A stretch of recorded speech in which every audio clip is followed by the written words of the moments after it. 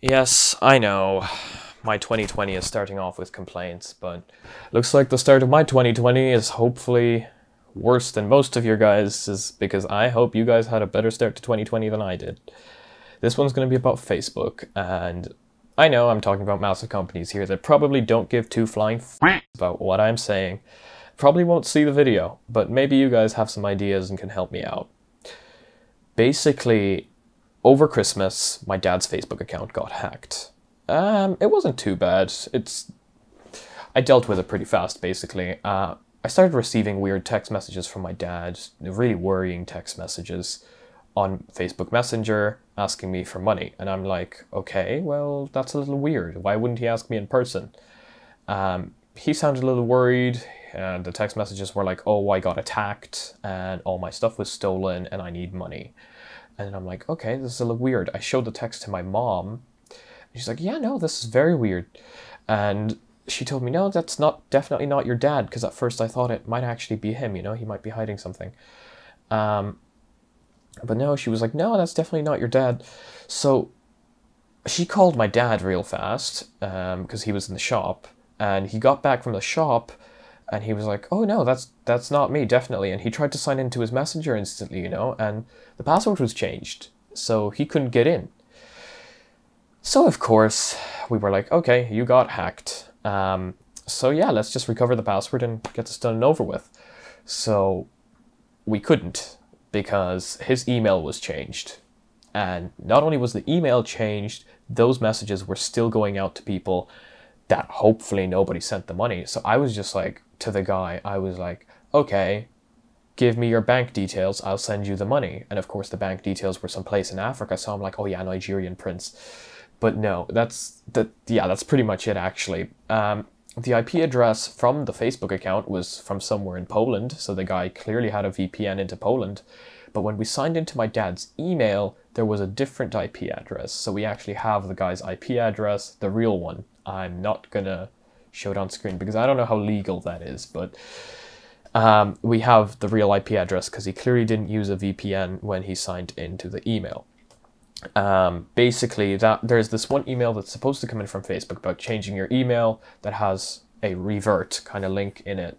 You can revert everything that happened. That email was clearly deleted. The guy knew what he was doing. Um, so, of course, we tried contacting Facebook. There's no contact button on Facebook can't contact Facebook, and there's no way to get back a stolen account that had both the email and the password changed.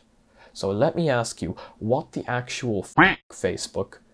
The only way I could get the guy to stop sending messages was to file a complaint about the account being fraudulent, which it actually wasn't because it was my dad's account.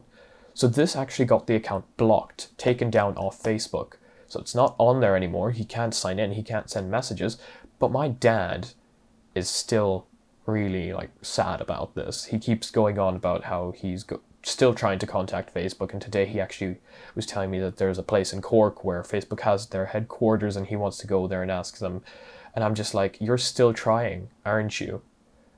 Because I stopped. I stopped trying because I kind of did everything I could. I contacted Facebook through the um, submissions page, nothing. All they did is they closed down the account. I sent them a picture of the passport. Nothing. Come on, Facebook. You already have enough bullshit going your way. You could at least do this right. But no, no, of course not. That's too much to ask for. So I thought the least I could do to help my dad is make this video.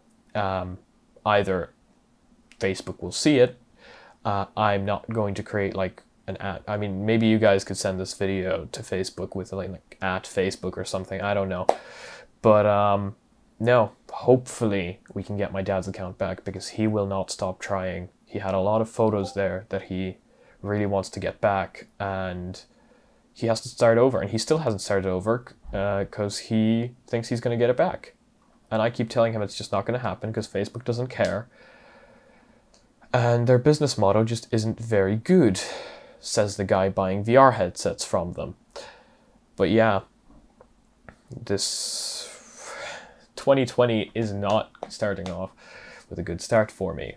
But just in case you guys didn't see the previous video, Uh, we have a Minecraft server now, so if any of you guys want to join that, modded Minecraft 1.12.2, give it a minimum of 6 gigs of RAM or else there might be a problem.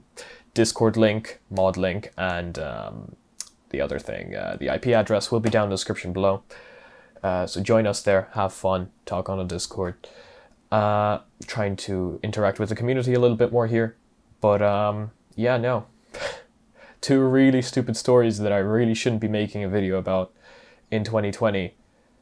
Really shouldn't have to do this, but hopefully the rest of my year starts turning around. I'm going skiing for my 18th in about four days, so hopefully that turns out. But yeah, I hope you guys uh, found this video somewhat entertaining. I don't know why you'd find this entertaining, but if you guys have any ideas on what I could possibly do, please post them down in the comments section below. All help, all help help is greatly appreciated. And yeah, see you guys in the next one. Peace. Facebook, you're not safe from me. I'm coming for you. Yeah, is this a party?